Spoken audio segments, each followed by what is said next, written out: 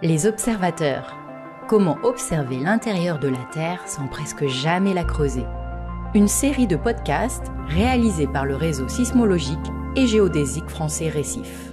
Erwan Patier est enseignant-chercheur à l'Institut des sciences de la Terre de Grenoble. Il étudie les déformations de la Terre grâce à l'imagerie satellitaire et va nous expliquer comment il s'y prend.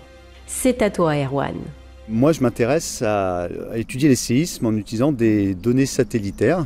Donc, c'est des images qui sont acquises à partir de satellites qui volent à une altitude d'à peu près 700 km au-dessus de la Terre.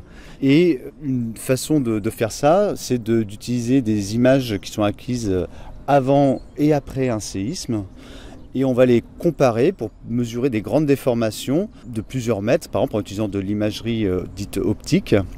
Et puis si on veut étudier après des déformations beaucoup plus petites qui peuvent avoir lieu avant un séisme, on peut utiliser une autre méthode qui s'appelle l'imagerie radar et l'interférométrie radar qui là aussi on va prendre des images à différentes euh, dates et en comparant une série d'images sur plusieurs années, on va être capable de mesurer des déformations de quelques millimètres à quelques centimètres par an en étant à 700 km d'altitude, donc c'est assez euh, précis, et donc ça, ça va nous aider à comprendre comment euh, ces déformations qui ont lieu progressivement avant le séisme vont pouvoir mener à la rupture du séisme, et donc mieux comprendre les processus qui euh, amènent à des séismes.